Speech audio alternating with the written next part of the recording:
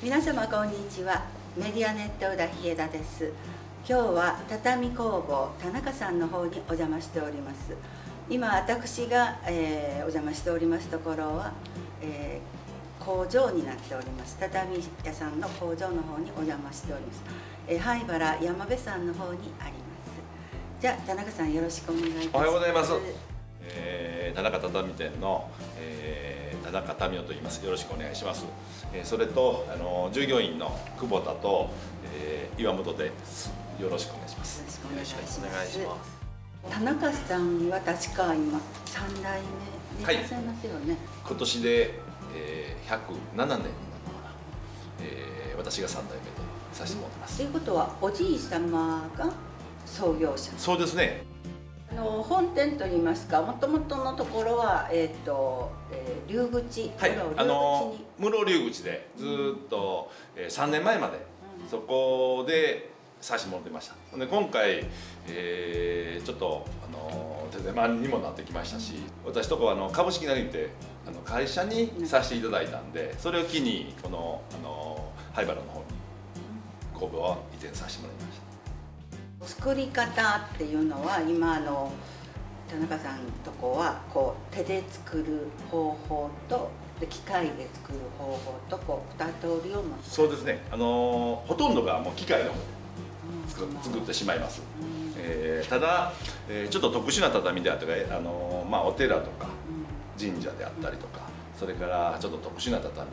させてもらってますんで今手縫いの方で。ここは畳表になっても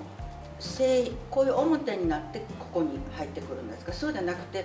いぐさを仕入れてここで作る。あの九州熊本の方で農家さんがいぐさを作ります、うんはい、で農家さんがこういうあのいぐさ畳表という形で織り上げます。そこですね。ああいうふうにあのヘリのないそうですね。そういう形で織り上げて、うん、これ畳表って言うんですけどこういう形に織り上げて、うん、私らが畳問屋さんから仕入れるという形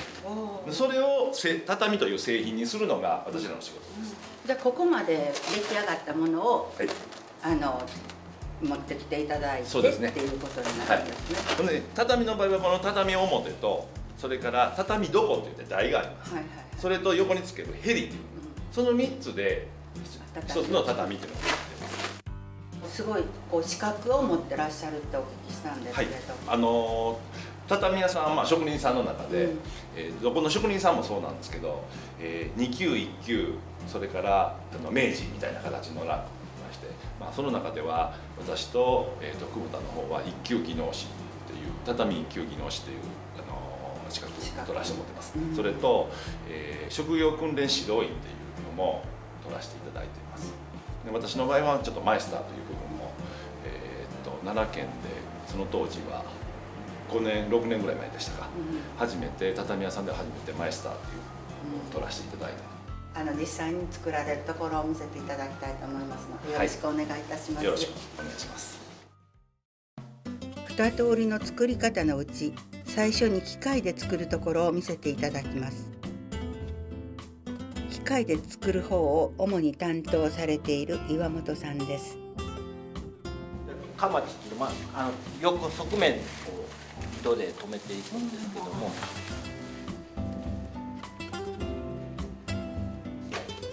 置いたままではたるんでいるので機械で引っ張ります。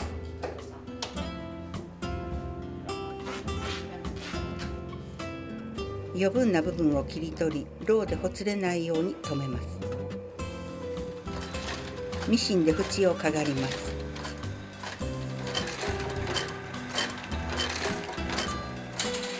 たるみがなくなりピシッとしました。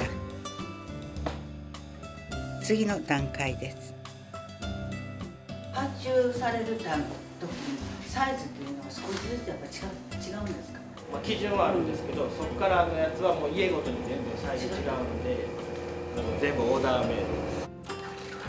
余分な畳を切り落としながらヘリを縫い付けていきます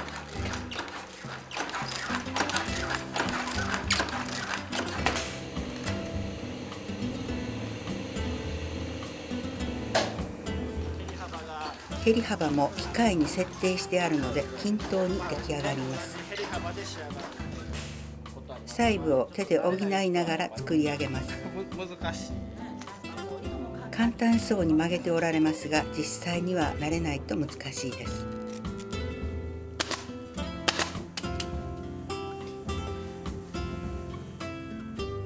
第3工程です。ヘリを縫い止めします。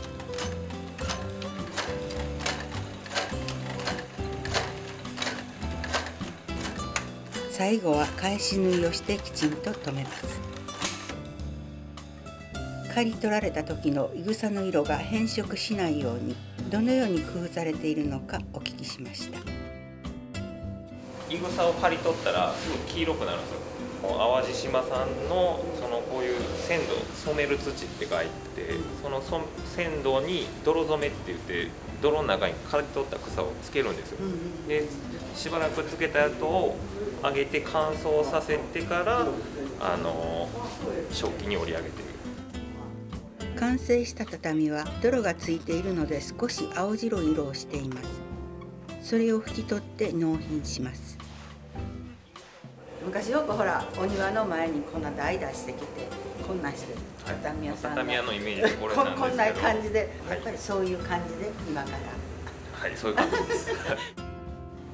全部これ手でかがっていくんですよ。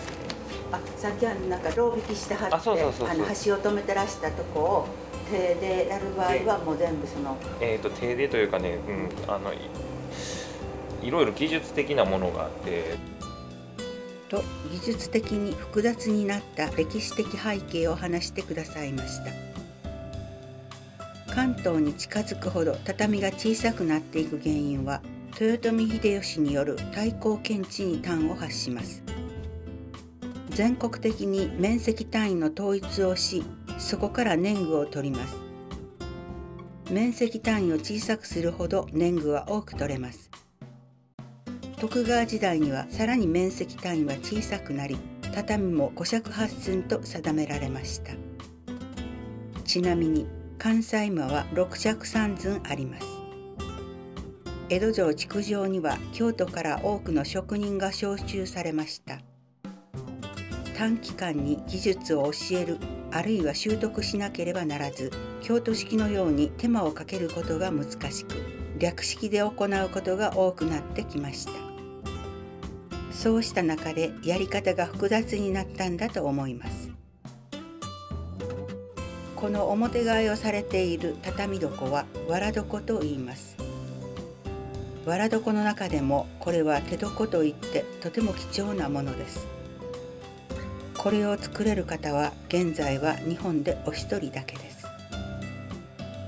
現在の畳床はこのような特殊なものを除いて大部分がインフレーションボードというのが使われています。さっき機械でこう貼ってたんですけど、はい。今回手縫いの場合は両方板をかまして手でこうやって水を吹きつけました。伸ばすといぐさが縮まっていた分広がります。いぐさの摘みも甘くなるので水を入れることによって膨らみ糸も伸び均等になるということです。余分なところを切り落とします。ヘリも歪まないよう器具を使って測り印をつけます。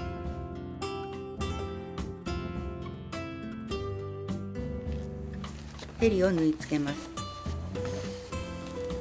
等間隔に上下に針が入ります。滑らかにリズミカルに手が動きます。これぞ匠の技なんでしょうね。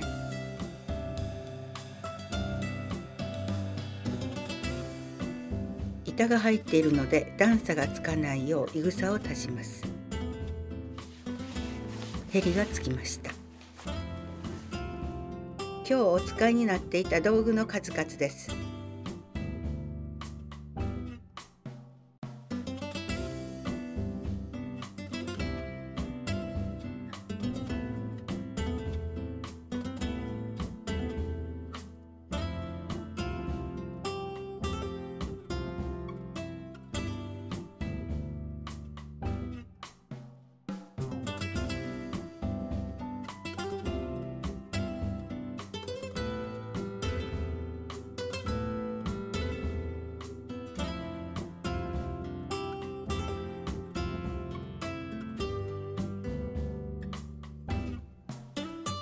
定規などはすべて尺になっています畳表を使ったものをいろいろ作っておられましたティッシュペーパーカバーです犬猫用の足に優しく汚れない畳に似たものの見本です可愛い足跡のヘリがついていますハンドバッグやショルダーバッグもあります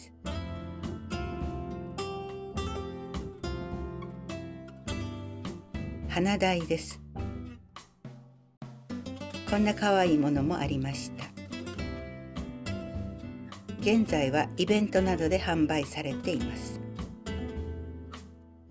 最初に岩本さんが作っておられた新農台が出来上がりました。早速お雛様にお座りいただきました。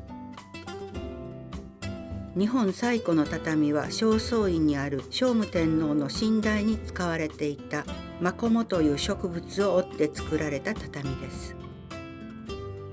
五小畳残血として現存しています。それが、まあ、奈良県にもあるっていうであのちょっとした誇りなんかなみたいな。約1300年前から存在している畳久保田さんをはじめとする若い畳職人さんたちによって新たな時代のページへと引き継がれていく素晴らしさを感じた企業訪問でした。